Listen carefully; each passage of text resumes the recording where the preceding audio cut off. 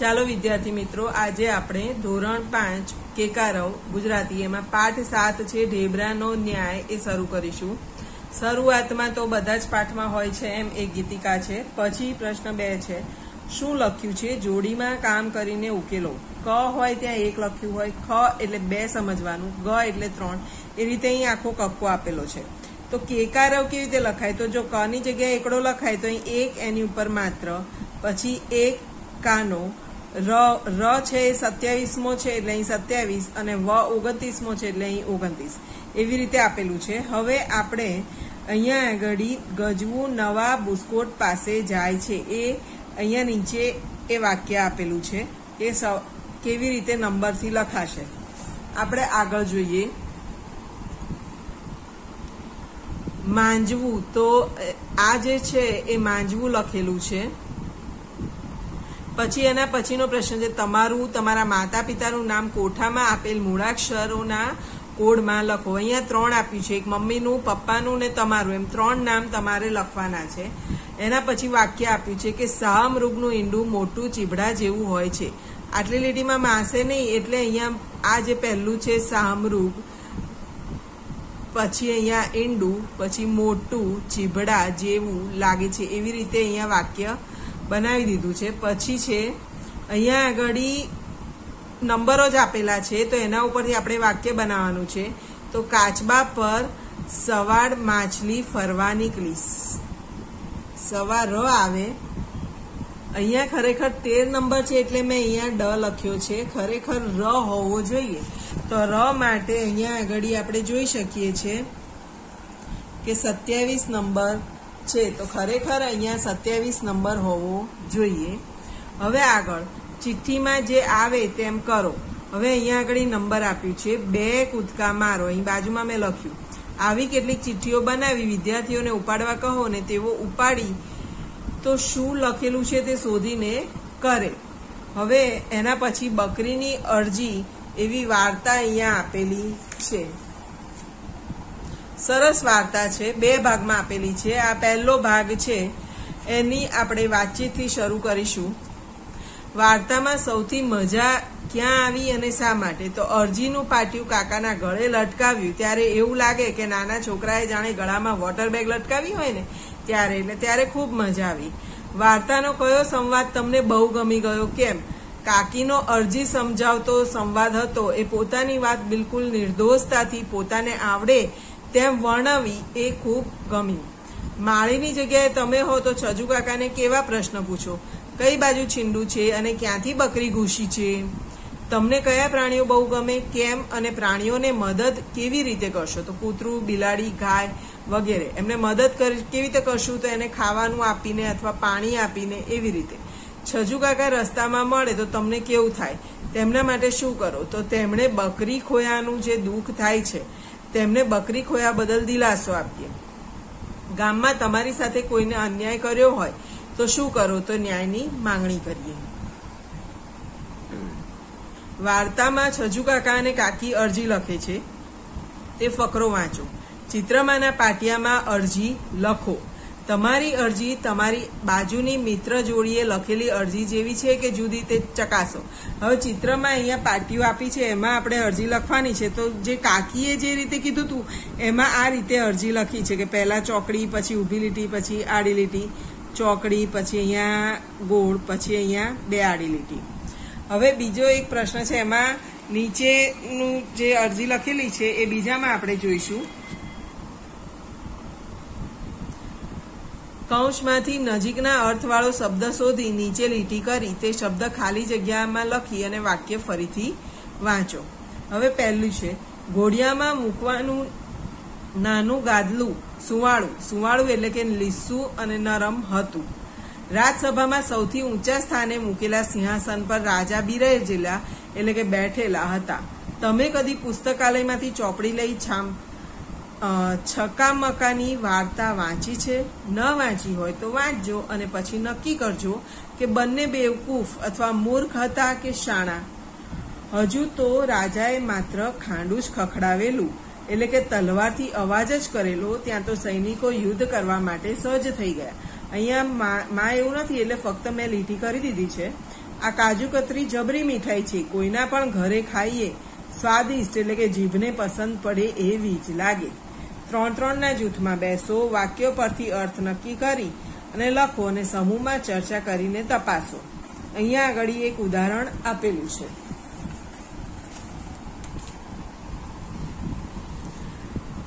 આયશા, બસ હવે મેચ પૂરી થઈ ગઈ. તે મને કેમ રન આઉટ કરાવી? તેની સફાઈ આપવાની જરૂર નથી.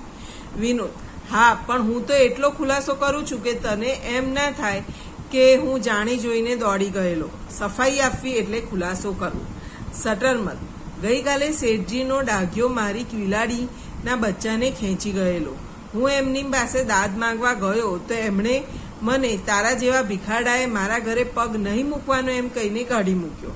પટરમલ શેઠજીએ આ ઠીક નથી કર્યું. સટરમલ ન્યાય માંગવાનો બધાને હક છે. દાદ માંગવી એટલે કે ન્યાય માંગવું. રાધા કહે હા તમને તો એમ જ છે ને કે મને કશી ગતાગમ પડતી જ નથી.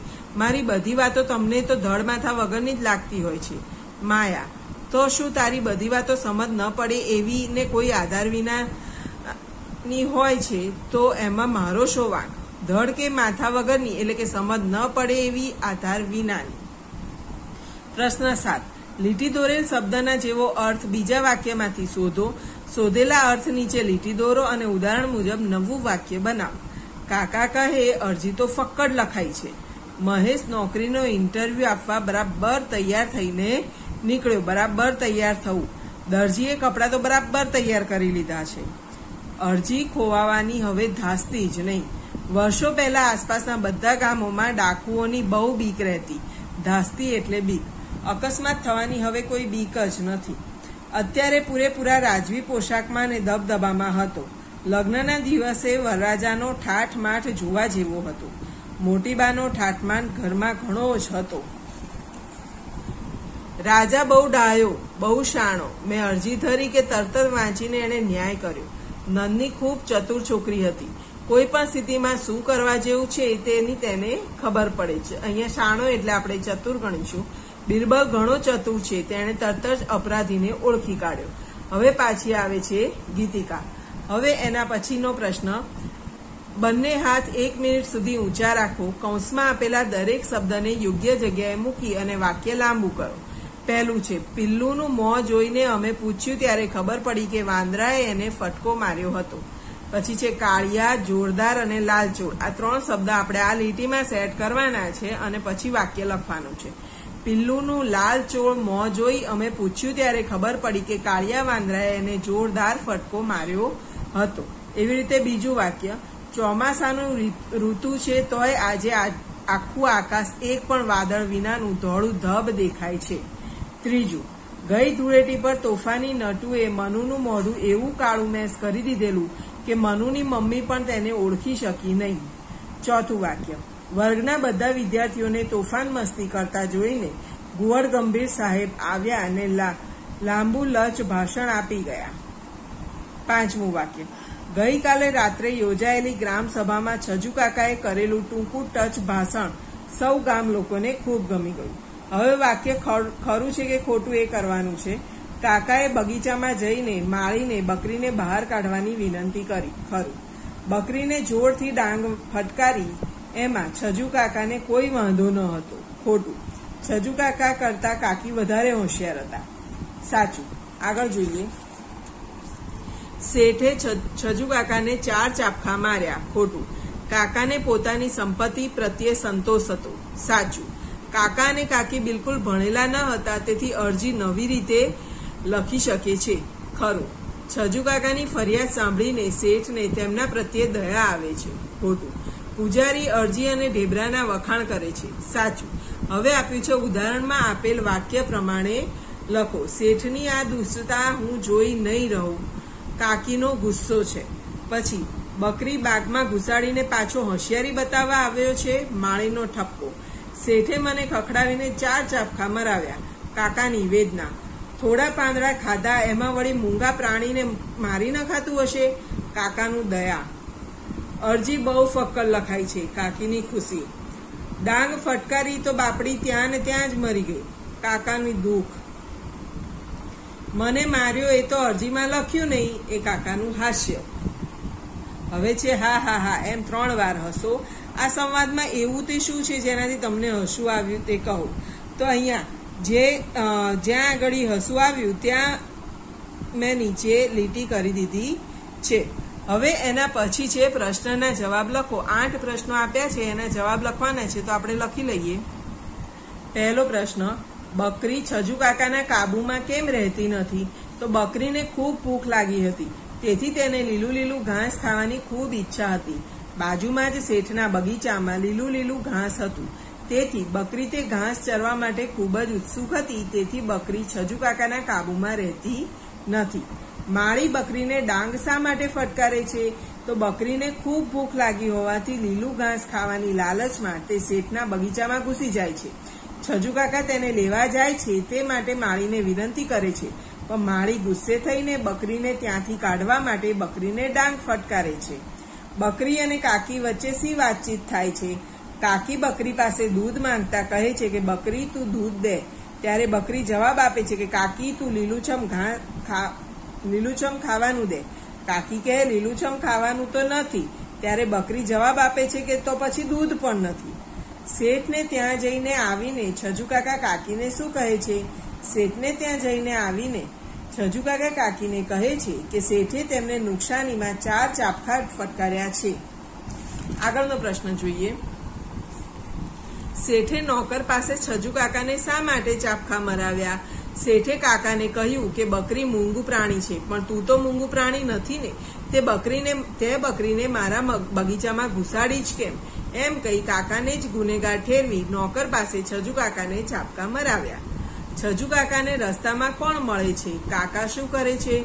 છજુ કાકાને રસ્તામાં પૂજારી મળે છે. છજુ કાકા તે પૂજારીને પોતાની બકરીની, શેઠે તેમને મરાવેલા ચાર ચાપખાની બધી જ વાત કરે છે ને પોતે લાવેલા ઢેબરાનો નાસ્તો કરાવે છે. છજુ કાકા અને કાકીમાંથી વધુ હોશિયાર કોણ લાગ્યું? કેવી રીતે ખબર પડી? છજુ કાકા અને કાકીમાંથી વધુ હોશિયાર કાકી લાગ્યા. કારણ કે કાકી ન્યાય મેળવવા માટે પહેલા કાકાને શેઠ પાસે મોકલે છે. પણ શેઠ પાસેથી ન્યાય ન મળતા પોતાને આવડે તેવી અરજી લખી કાકાને રાજા જોડે ન્યાય મેળવવા માટે મોકલે છે. વાર્તામાં હવે આગળ શું બનશે? છજુ કાકા રાજા પાસે જશે અને રાજા તેમને ન્યાય આપશે અને શેઠને શિક્ષા કરશે. હવે આ જે આઠ પ્રશ્નના જવાબ હતા એ આપણે લખી લીધા છે. હવે એ જે વાર્તા હતી છજુ કાકાવાળી, એ હવે આગળ શું બનશે એ આ બીજા ભાગમાં આવે છે. અહીંયા આ એ વાર્તાનો આગળનો ભાગ આપેલો છે. હવે એમાં પણ આપણે વાતચીતથી શરૂ કરીએ.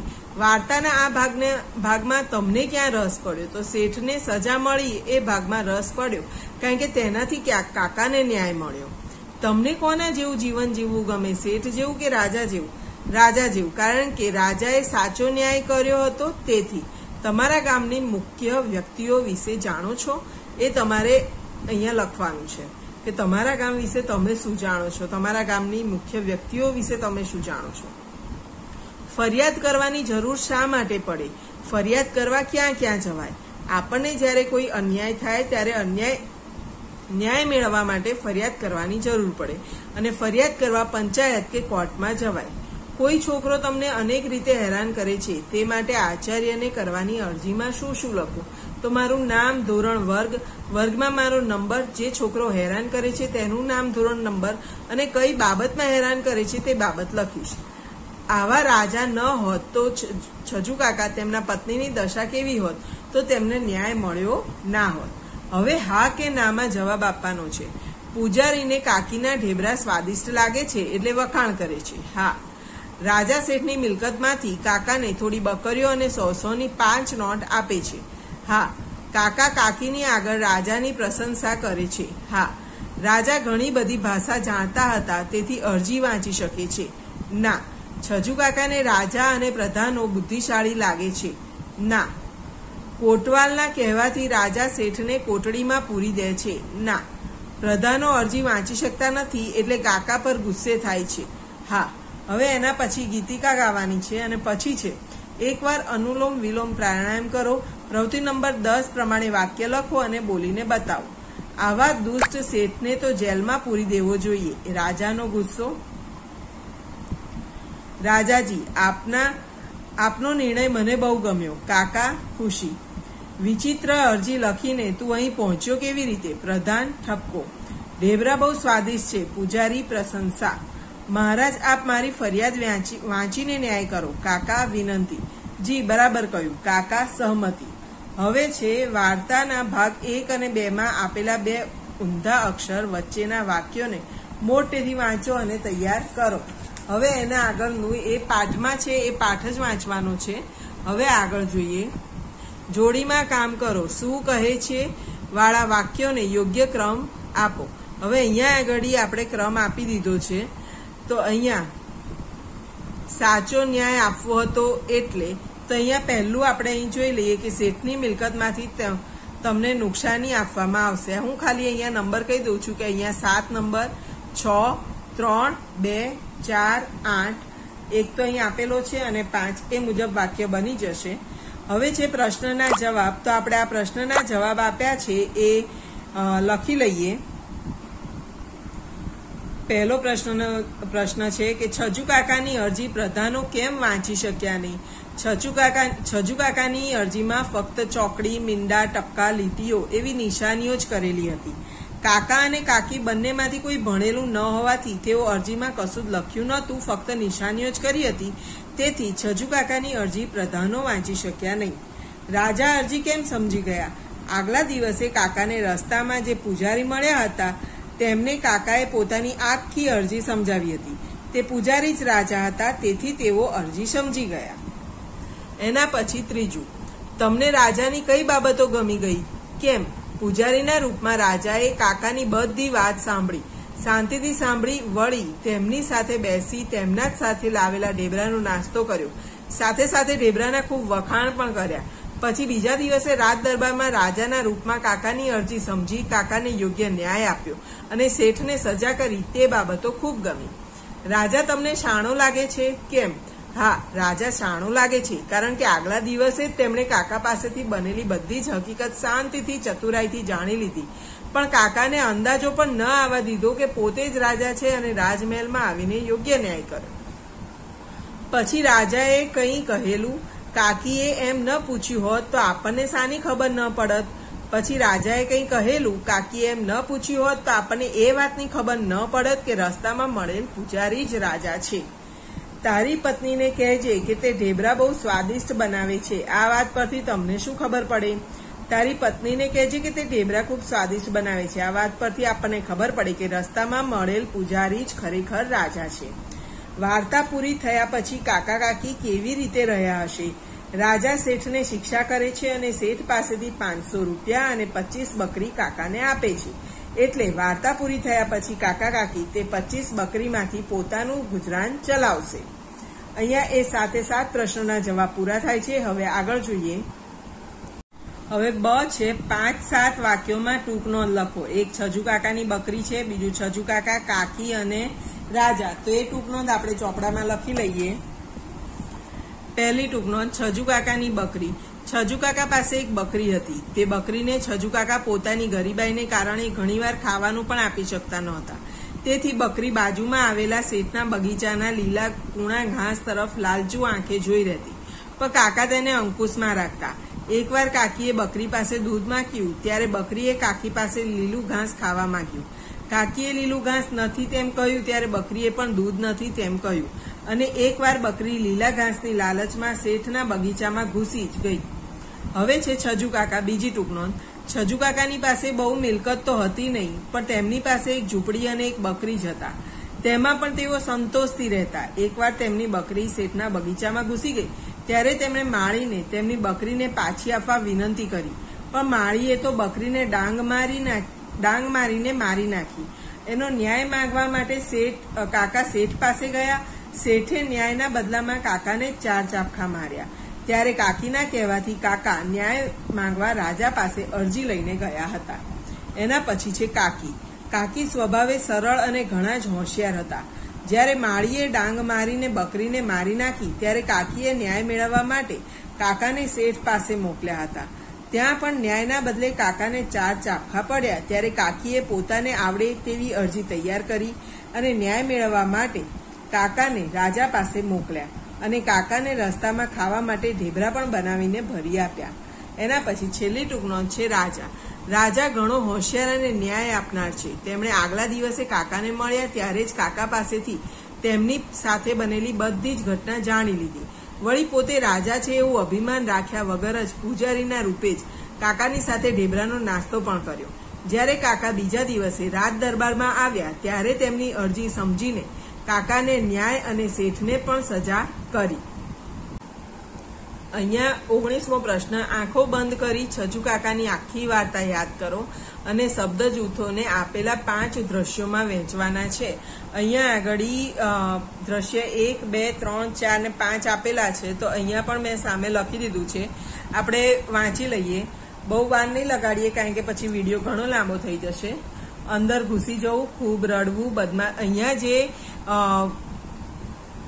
જેની નીચે લીટી કર્યું છે, એ જ અહીંયા લખી દીધું છે. ખૂબ રડવું, બદમાશી કરવી, મરેલું પડવું, ડાંગ ફટકારવી, હાથમાંથી પસાર થવું, ચીસ પાડવી, લાંબુ લસ થઈ જવું, આંખ ફાટી જવી, ચાપખા ફટકારવા અને ઊભું રાખવું. બીજા બીજા દ્રશ્યમાં નુકસાની આપવી, લખતા ન આવડવું, સફાઈ આપવી, અરજી લખવી, ફક્કડ લખાવવું ચોકડી કરવી, યાદ કરીને બોલવું, ફરિયાદ કરવી, દાદ માંગવી, સુવાળું બનાવવું અને લીટી કરવી. એના પછીના દ્રશ્યમાં ફરવા નીકળવું, વાત સાચી લાગવી, વખાણ કરવા, સીધે રસ્તે ચાલવું આંગળી કરવું, ખૂબ હસવું ને આગ્રહ કરવો. એના પછી ચોથા દ્રશ્યમાં ન્યાય કરવો, વાંચતા ન આવડવું, ચલાવી ન લેવું, છૂટા પડવું, રાજી થવું, સમજ ન પડવી, હાથમાં મૂકવું આવેશમાં આવી જવું, સમજી જવું, હાજર કરવું, જેલમાં પૂરી દેવું, છોડવું નહીં, નીચા ન નમવું, નીચા નમવું ને હાથ જોડવા. પાંચમું દ્રશ્ય, ડાયા હોવું, સમજદાર લાગવું, હરખમાં બોલાઈ જવું, નવાઈ પામવું, સાંજ કરવી સાજ કરવી, ઉત્સાહમાં આવી જવું ને દેખાડી દેવું. પ્રશ્ન પૂરો થાય છે, આગળ જોઈએ. ત્રણ ત્રણના જૂથમાં બેસો એક દ્રશ્યના શબ્દ જૂથનો ઉપયોગ કરી સંવાદો બનાવો અને નાટકની જેવું ભજવો. એના પછી છે, ખૂબ ઝડપથી તેથી કેમ કે ત્રણ વાર બોલો અને એનો ઉપયોગ કરીને વાક્ય બનાવો. અહીંયા એક ઉદાહરણ આપ્યું છે, એના પછી આ જે ચોપડીમાં ઉદાહરણ આપેલા છે, એ હું વાંચતી નથી, એના પછી જે બનાવવાનું છે, એ જ વાંચું છું. સેવ કે ચવાણાથી પક્ષીઓને રોગ થાય છે, તેથી તેમને સેવ કે ચવાણું ખવડાવવું જોઈએ નહીં.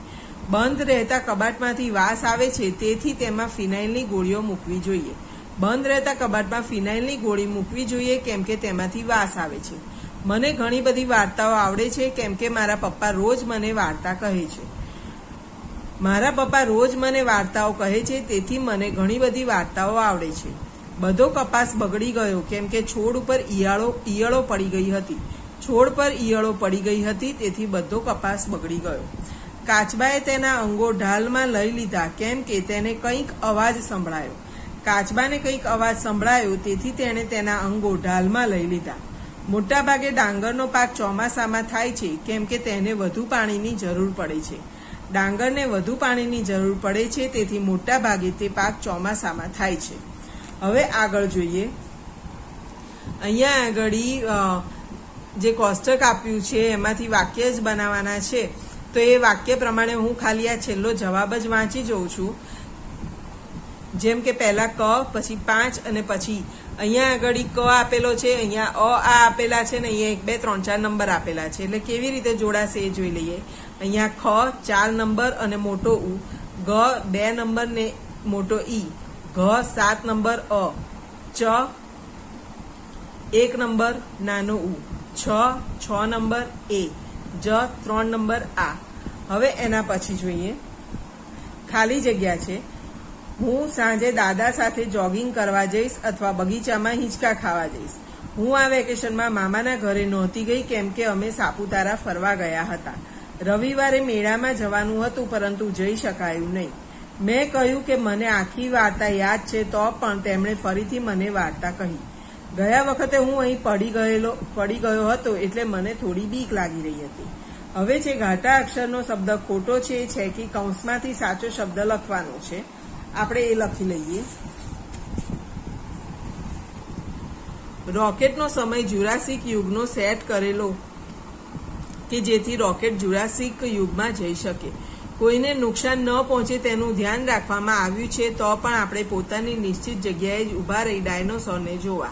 અમોઘની સૂચનાઓનું પાલન કરવું આપણા કાયદા, આપણા ફાયદામાં છે, કારણ કે તે આપણો સલામતી અધિકારી છે. ડાયનોસોરે મોટેથી ગર્જના કરી, તેથી દિગ્વિજય ગભરાઈ ગયો. અમોઘનું રોકેટ વાગતા ડાયનોસોરે ઝટકો ખાધો અને ત્યાં જ બેભાન થઈ ઢળી પડ્યો. દિગ્વિજય જંગલ તરફ ભાગ્યો એટલે શાંતાને તેની ચિંતા થઈ. અભિષેકે ના પાડી તેમ છતાં દિગ્વિજય જગ્યા છોડીને આગળ ગયો. પૃથ્વીનું વાતાવરણ સાવ બદલાઈ ગયું હતું, કે કેમ કે દિગ્વિજયના પગ નીચે છેલ્લું પતંગિયું આવી ગયું હતું. હવે વાદળી રંગથી લખેલો શબ્દ વાક્યમાં સાચી રીતે વપરાયો હોય તો વાહ લખવાનું છે અને ખોટી રીતે વપરાયો તો આ લખવાનું છે.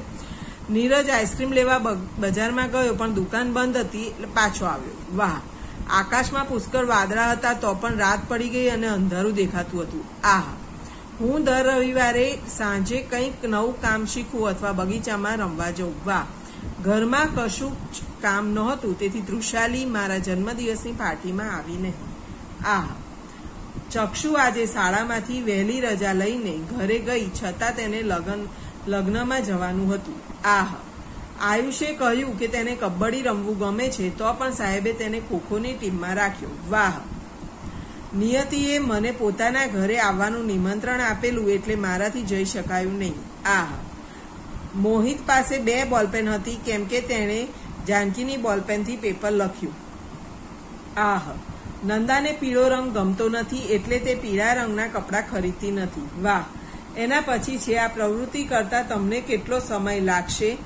ખાલી જગ્યા મિનિટ. તમારા શિક્ષક જોશે અને પછી ચકાસશે સાચો, તમારો અંદાજો સાચો પડ્યો છે કે નહીં. કૌંસમાંથી શબ્દ પસંદ કરી ખાલી જગ્યા પૂરવાની છે. શાળામાં ફિલ્મનું ગીત ગવાય ખરું, પણ પ્રાર્થના તરીકે નહીં. કાગડો કાકા બોલતો હોય છે, તેથી તેનો રંગ કાળો હતો, તેથી તેનો રંગ કાળો હોતો હશે. હું રાત્રે વહેલા ઊંઘી જાઉં છું, કારણ કે મને વહેલી સવારે ઉઠીને યોગ કરવા ખૂબ ગમે છે. મેં તને કીધેલું જ છે કે આપણે બે ભેગા મળીને પ્રવૃત્તિ લખીશું, છતાં તારે જાતે જ લખવી હોય, તો પછી તારી મરજી. રોજ બે કિલોમીટર ચાલવું જોઈએ અથવા એક કલાક કસરત કરવી જોઈએ. મેં નવું કેલેન્ડર લીધું અને ખીલી પર ટીંગાડ્યું. હવે એના પછી છે. બગીચા વિશે છ થી આઠ વાક્ય લખો, સૂચના વાંચી, જય, જયા, જયંતે નીચે પ્રમાણે જવાબ લખ્યા. તપાસી દસમાંથી ગુણ આપ્યા. ગુણ આપતી વખતે મુદ્દા જોયા, વિષયની વિગતો, વાક્યની લંબાઈ અને એનું લખાણ. આ જયનો નિબંધ છે, જયાનો છે ને જયંતનો છે. હવે એવી જ રીતે આપણને પણ અહીંયા નીચે નિબંધ લખવાનું કીધેલું છે. આપણે જંગલ વિશે લખવાનું છે. તો અમારા ગામની નદીને પેલે પાર એક જંગલ હતું. તેમાં ઘણા બધા ઘટાદાર વૃક્ષો હતા. જંગલમાં ઘણા પ્રાણીઓ અને પંખીઓ રહેતા હતા. તેમાં જંગલી પ્રાણીઓ અને બીજા નાના પ્રાણીઓનો શિકાર કરતા અને તેનો ખોરાક બનાવતા. જંગલમાં ઘણા પ્રાણીઓ અને પંખીઓ ઝાડને પોતાનું રહેઠાણ બનાવતા.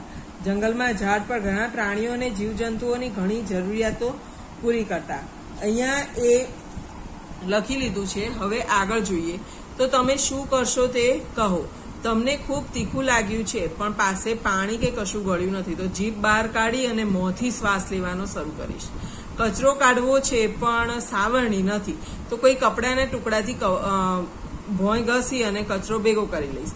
છોડને પાણી પીવડાવવું છે, પણ પાઇપ કે ડોલ નથી. તો ગ્લાસ કે બોટલમાં ભરી અને પછી પીવડાવીશું. હવે છે મુશ્કેલી સમય માટે ઘણા બધા વિચારો છે. કપડું ઝડપથી સુકવવું હોય તો શું કરશો? તો આ બધું છે આપણે નોટમાં જ લખી લઈએ. કપડું ઝડપથી સૂકવવું હોય તો કપડાને બંને છેડેથી પકડી અને બે જણા સામ સામે ઊભા રહીને સૂકવી શકાય અથવા કપડાને તડકામાં પણ સૂકવી શકાય. હવે એના પછી બીજું છે વન ભોજન વખતે ચપ્પુ નથી અને બટાકા સુધારવા છે. તો અણીદાર પથ્થરને ધોઈ અને તેનાથી સુધારી શકાય. ઝાડની કોઈ અણીદાર ડાળી છે તો તેનાથી સુધારી શકાય. તમને ગમતું પેન્ટ છે ઢીચરની નીચેથી ફાટી ગયું છે, તો શું કરશો? તો ત્યાં બીજું કપડું મૂકીને ડિઝાઇન બનાવી શકાય. ફાટી ગયું હોય ત્યાં દોરા કાઢીને ફાટેલાની નવી ફેશન બનાવી શકાય. અથવા ફાટ્યું હોય ત્યાં બંને બાજુથી કાપીને પેન્ટમાંથી કેપરી બનાવી શકાય. ઉનાળામાં રોડ ઉપર જવું છે, પણ ચંપલ નથી. તો નકામી બોટલ હોય તેને દબાવીને કપડાના ટુકડા વડે પગ જોડે બાંધી શકાય. જાડા મોજા હોય તો એ પહેરી શકાય. રસ્તામાં કિનારે કિનારે જો છાંયો હોય તો ત્યાં ફટાફટ ચાલી શકાય. તમારા દાંતમાં ભાજીનો રેશો ભરાઈ ગયો છે તો જીભથી કાઢી શકાય અથવા અણીદાર સળી કે સેપ્ટીપિનનો ઉપયોગથી કાઢી શકાય અથવા કપડાની ધાર વડે કાઢી શકાય. આગળ જોઈએ. તમારી ઢીંગલી કે રમકડાની ગાડી તૂટી ગઈ છે તો તેને ફરીથી જોડી શકાય અથવા બીજા રમકડાથી રમી શકાય અથવા માટીથી બીજું રમકડું બની તેનેથી રમી શકાય અથવા કપડામાંથી ઢીંગલી બનાવી શકાય. હવે આના જે ઘરકામનું હતું એ આપણે અહીંયા પૂરું થયું એ વિચારો લખી લીધા. હવે છે ફકરો વાંચો અને પ્રશ્નના જવાબ આપો. અહીંયા આગળ ફકરો છે અને આ પ્રશ્નના જવાબ છે, તો આપણે એ જોઈ લઈએ. પહેલો પ્રશ્ન છે રેતબા તળાવ વિશે નવાઈ લાગે તેવું શું છે? તો રેતબા તળાવમાં ચાલીસ ટકા મીઠું છે, તે તળાવના પાણીનો રંગ એકદમ ગુલાબી છે. બીજું રેતબા તળાવનું પાણી પી શકાય? કેમ? રેતબા તળાવનું પાણી પી શકાય નહીં, કારણ કે તેમાં ચાલીસ ટકા મીઠું રહેલું છે તેથી. સેનેગલના લોકો મીઠું પકાવવાનો ધંધો શા માટે કરતા હશે ને ત્યાં બીજો કયો ધંધો વિકસ્યો હશે? તો સેનેગલમાં આવેલું રેતબા તળાવમાં ચાલીસ ટકા મીઠું છે, તેથી ત્યાંના લોકો મીઠું પકાવવાનો ધંધો કરતા હશે. ત્યાં ઘણા પ્રવાસીઓ આવતા હોય છે, તેથી ત્યાં પ્રવાસીઓ માટે રહેવા જમવાની સગવડનો, તેમની ખરીદી માટેની વસ્તુની દુકાનનો ધંધો વિકસ્યો હશે. દુનિયામાં ગુલાબી પાણીવાળા તળાવ ક્યાં ક્યાં આવેલા છે? તો દુનિયામાં અમેરિકામાં સેમ, સેનેગલમાં રેતબા તળાવ અને ઓસ્ટ્રેલિયામાં હિલિયર તળાવ નામના ગુલાબી પાણીવાળા તળાવ આવેલા છે. શું થાય તો આ તળાવનો ગુલાબી રંગ બદલાઈ જાય? તો આ તળાવમાં રહેલી ચોક્કસ પ્રકારની સેવાળ જો દૂર થાય તો એનો ગુલાબી રંગ બદલાઈ જાય. તમારી આસપાસ તળાવમાં કઈ કઈ વનસ્પતિ થાય છે? તો તળાવમાં લીલ, શેવાળ, પોયણા, ફૂલ વગેરે જેવી વનસ્પતિ થાય છે. એના પછી આ ફકરામાંથી સરખા અર્થવાળા શબ્દ શોધી અને લખો તો અજાયબ, અદ્ભુત. હવે આ જે સાત પ્રશ્ન હતા એના જવાબ લખી દીધા છે. હવે એના પછી અહીંયા છે કે લગભગ સરખા અંકુશમાં રાખવું તો કાબુમાં રાખવું. સાણો તો ચતુર, સફાઈ કરવી તો સાફ કરવું. સાફ કરવું. તો ચાલો મિત્રો, અહીંયા હવે આપણે આ પાઠ પૂરો કરીએ છીએ. જો વીડિયો ગમ્યો હોય તો લાઈક જરૂર કરશો, તમારા મિત્રોને શેર કરશો અને ચેનલને ચોક્કસ સબસ્ક્રાઈબ કરશો. ચાલો ત્યારે આવજો.